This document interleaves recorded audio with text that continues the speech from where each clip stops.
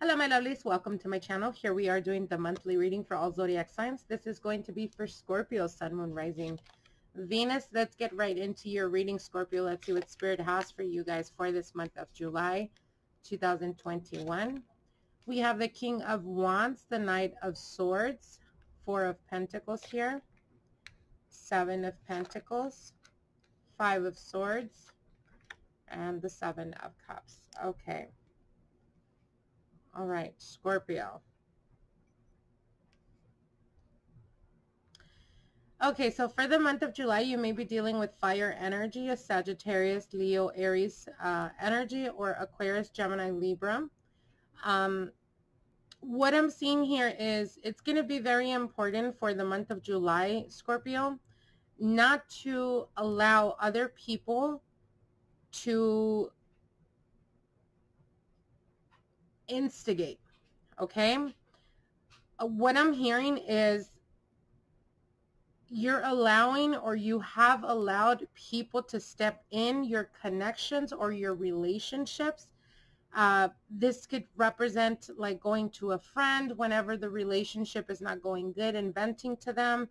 Um, and this has given them almost a feeling of like they have a right to critique to opinionate in regards to the relationship. And I feel that this is creating a lot of tension, a lot of frustration on both you and your partner's uh, energy.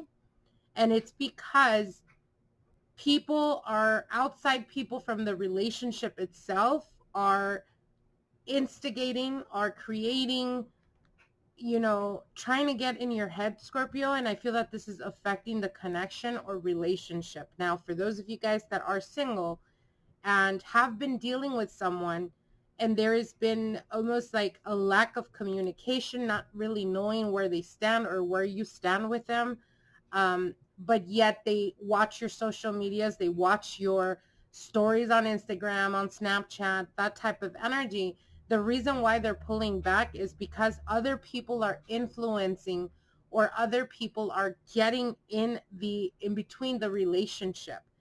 I'm seeing a lot of like rumors a lot of confusion. Um so again it's going to be very important to be centered in the month of july.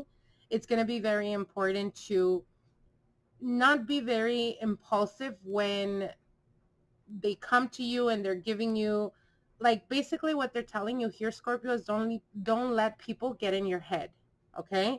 And it's going to be very important because see, we have the seven of cups here and the seven of pentacles. So this is talking to me about people seeing the effort, the work, or the potential of a relationship and trying to steer up shit with the five of swords here, ego in the way, it could be someone that is hurt, someone that is almost like, I don't like to use the word envious often, but it's almost giving me like an envious vibe.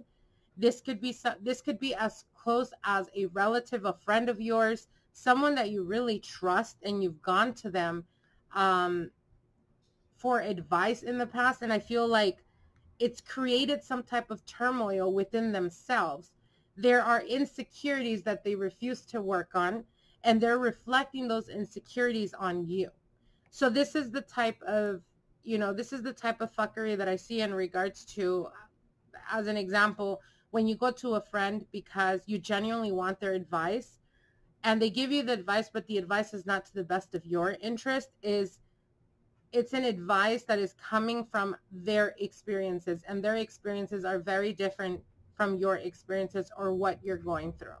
So it's going to be very important for the month of July to remain grounded, Scorpio, to not allow people to get in your head, to not allow people to, you know, criticize and make it seem as if it's constructive criticism when in reality they're just criticizing. Okay? Because they're telling you there's a distinction of pulling away and being practical or viewing situations in a practical manner or allowing your emotions to get the best of you and then your aggression comes out your confrontation or the need to confront uh, either these rumors or people critiquing you or you know what i'm saying and what they're telling you is don't let them get that side to you. Be in control of your emotions. Be in control of your power, Scorpio. Don't allow people's perception of you or their idea of what's going on in your relationship affect what's really happening. It's like there is a need for you to be practical. There is a need for you to be detached from the situation.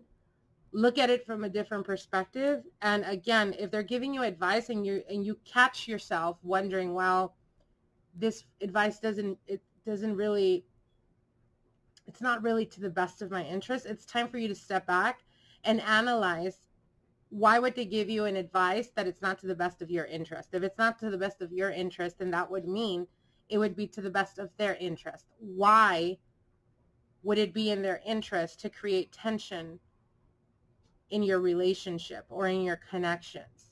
And this could even be in regards to family and friends. But there is definitely someone that's trying to steer up shit and making it seem as if once they create this type of confusion and chaos, they can, you know, wash their hands clean and be like, well, it was all Scorpio. Well, it was Scorpio the one that overreacted.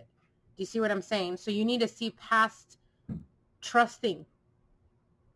Okay? Because what they're telling me is this could be someone that you've gone to for advice in the past. So this is someone you trust. But don't trust blindly. You got to question whatever their advice is to you, is it to the best of your interest? And if it's not, then you need to start questioning why is it beneficial for them